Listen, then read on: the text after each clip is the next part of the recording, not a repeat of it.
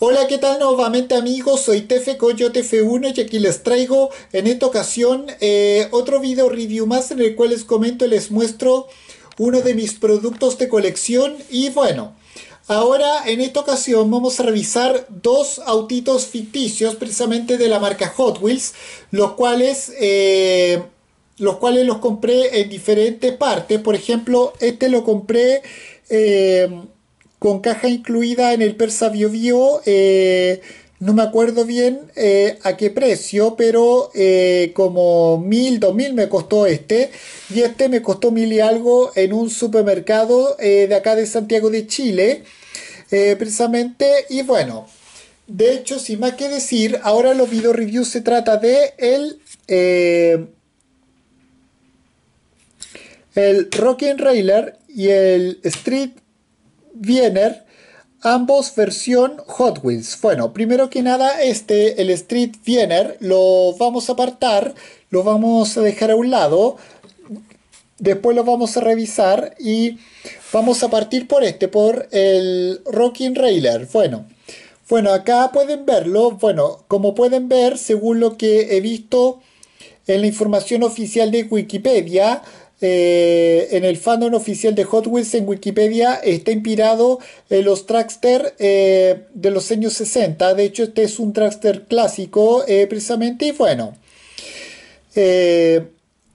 la principal cualidad que tiene este autito es que si lo hacemos rodar, podemos ver que el, podemos ver que las dos, las dos partes laterales del motor se, mueven eh, como al estilo de una sala de mariposa, como ustedes pueden apreciar. Y bueno, porque como pueden ver, podemos ver que tiene estas tres, estas tres protuberancias que hacen que, el, que este motor se pueda mover. Y bueno, podemos ver que el color que está presente en este autito es el color eh, celeste con toques en azul como ustedes pueden apreciar así como también toques también en azul intenso y beige, como ustedes pueden apreciar. Y bueno, podemos ver, podemos ver ahí el logo, el logo de la marca Hot Wheels eh, aplicado en negro, eh, blanco y naranja.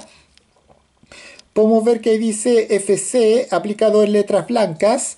Y aquí podemos ver que dice Rockin' Railer, que es el nombre de este autito. Y bueno, sus llantas son en cromado plateado, al igual que las dos eh, partes laterales de lo, que es el motor. Eh, el sobrealimentador también lo tiene simulado, pero no tiene pintura, como ustedes pueden apreciar.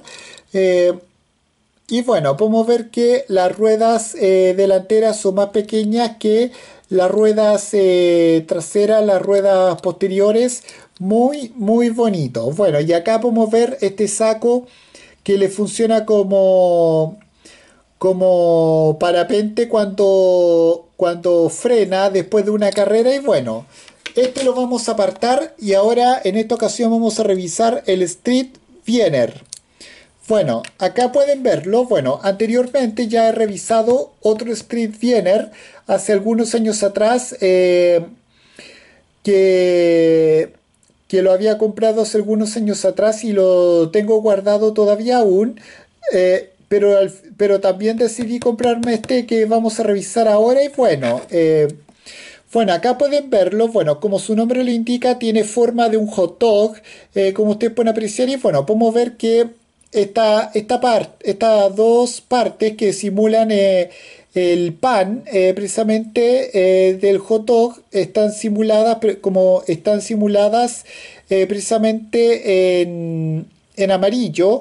Y podemos ver que en un en color naranja está simulada también lo que es la salchicha.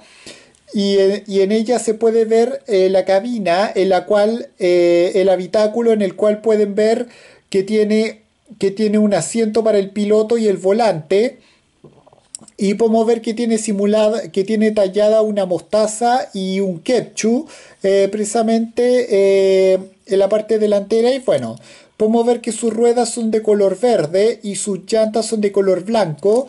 Bueno, acá podemos ver en, eh, en estos dos costados que simulan, que simulan la caja del hot dog que tiene, que tiene un, una que tiene una salchicha eh, dibujada eh, sobre un patrón que simula ser un mantel y el logo de Hot Wheels aplicado en rojo y blanco como ustedes pueden apreciar y bueno podemos ver que tiene también simulado su alerón, su alerón frontal que tiene forma de una, una espátula y bueno y podemos ver que el alerón posterior podemos ver que tiene un, forma de forma de una parrilla, como ustedes pueden apreciar, de una parrilla para asado. Se puede, y podemos ver que se puede cerrar y se puede abrir. Si se abre, simula ser una especie de spoiler, una especie de alerón. Eh, así que se puede cerrar o se puede abrir como ustedes quieran. Y bueno, podemos ver que sus tubos de escape eh, tienen más apariencia de ser eh, tanques de, de, de, óxido nitroso, precisamente. Muy, muy bonito estos dos autitos y bueno.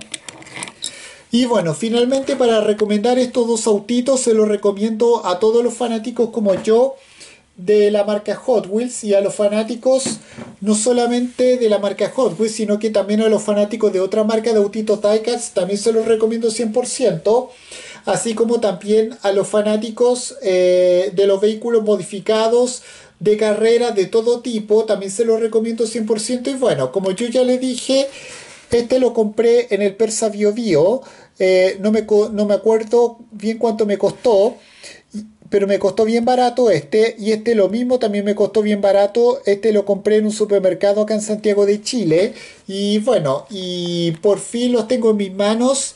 Eh, y espero poder comprar más eh, variantes de este, por ejemplo del Rocking Railer en algún momento y bueno. Y con esto finalmente doy por finalizado este video review. Cuando vean este video no olviden comentar, suscribirse a mi canal TF Coyote F1, dar su me gusta, activar la campanita de las notificaciones y compartirlo como todos mis propios video reviews. Y con esto cierro este video. Adiós, que me fuera. Chao.